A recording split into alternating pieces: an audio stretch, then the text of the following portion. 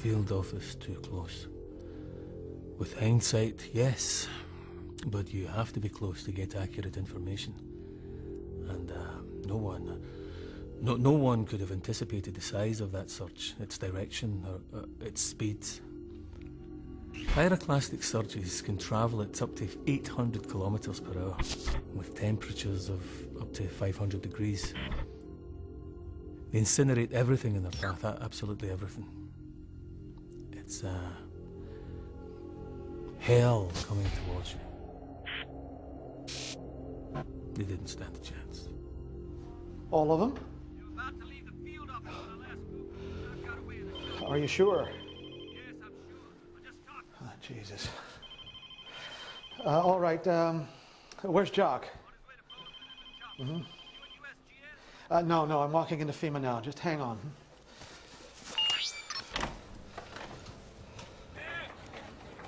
Listen, I'm going to pass you over to Wendy. I've got Dave Price on the line. He's in a backup field office in Bozeman. Okay, let's patch him through. Everyone, this is Michael Eldridge from USGS. Dave, this is Wendy Rice at FEMA. Do you have any update on the size of the eruption? Uh, yeah. Jock Galvin left the scene by chopper a little while back and said it was a single vent. But the GPS and SRI data show signs of swelling all over the park and increasing earthquake swarms. My guess is it's only a matter of time before we see new vents opening up. Thank you, Dave. Stay on the line and keep us up to date. Will do. It. Denver, bring all USAR teams to standby. Inform Governor Marshall this could be bigger than anticipated. Are we recommending evac? It's his call, but we're advising against. It's safer inside than on the highway. Well, as I was saying, our flight plan has us about 348 nautical miles south of Yellowstone at our closest point. So if uh, ash from your volcano does head our way, the Volcanic Ash Advisory Center will divert us long before we get anywhere near it. Okay. Well, how often does VAC check the satellite? About every half hour. We can put in a call now for an update it make you feel better. Yeah. I, I, I'd appreciate that. If you keep me informed. Sure. Thank you.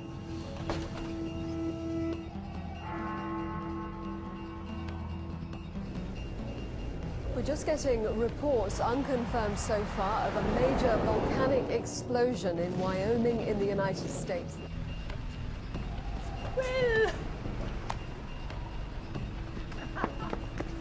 Early reports from Wyoming say the eruption has killed literally thousands of people. Many cities near the volcano in the Midwest have been destroyed.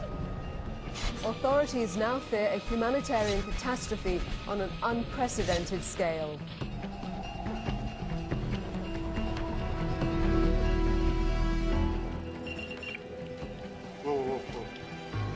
Boise, Idaho's reporting a citywide blackout.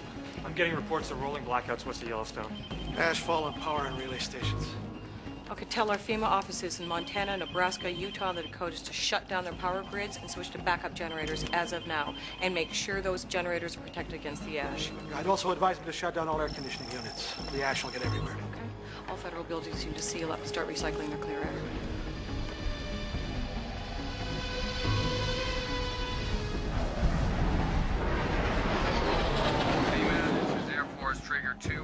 Ahead, Trigger 2. I'm now monitoring the eruption column at level 500. Indications are below about 290. The wind is westerly, but above that it bears around to 7 or northwest. Over. Hank, Hank, You got those coordinates? 290, the wind is westerly. Oh, man. It's directly across major commercial air routes. Hank, I want all airspace across the central USA cleared and put east and west coast on standby. Michael, where is your guy? I need him here. Rick Lieberman? Yes. He's in there somewhere. He was flying back tonight. Okay. Anyone need some blanket? There, there you go.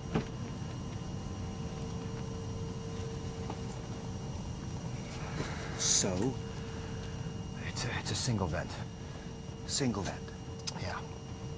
So Mount St. Helens, then, Yeah. like you said. Yeah, yeah.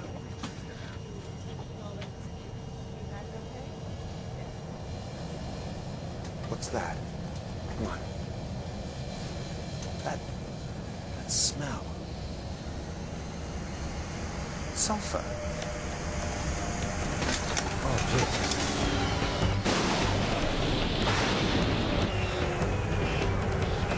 Stalwart. Okay, we lost two and we're losing one. Lost both engines. Throttle back, both. I have control. Right beginning, one eight.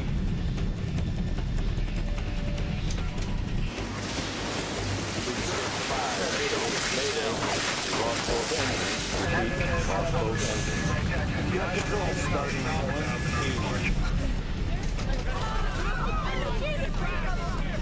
Denver Center, Denver Center, this is Seat now. Lost both. Mayday.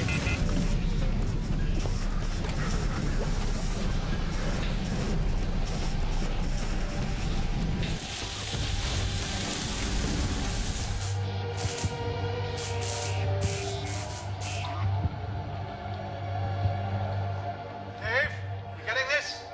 Yeah, yeah, I got it. Does the guy have a zoom? Can you get him to zoom in? Trigger 2, can you zoom in?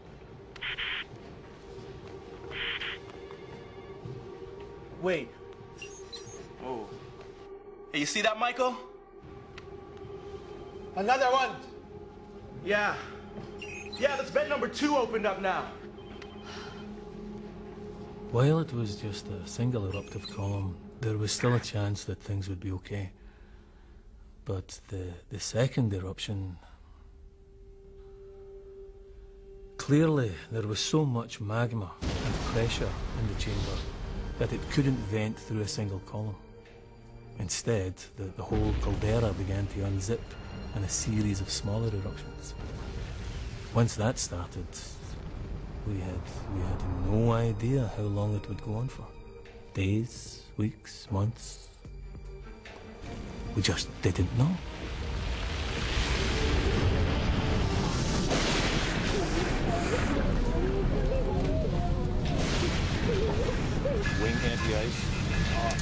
1998, the PU.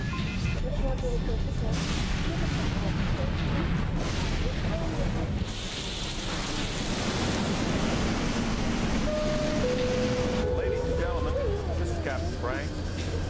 We'll very shortly be making a precautionary landing in Cheyenne. The ash cloud has blasted the cockpit window. We're landing blind. Back of the seat in front of you, clasp your hand under your knee.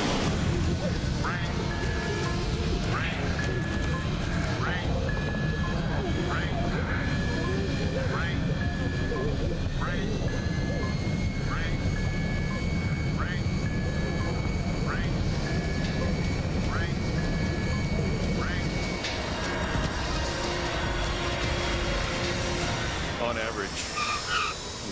about four planes each year unexpectedly fly into ash clouds. And on that night, 35 did. And that was just over the U.S. Flying into one of these ash clouds is, is worse than getting a dump truck full of sand thrown into your engines because volcanic ash, was rock.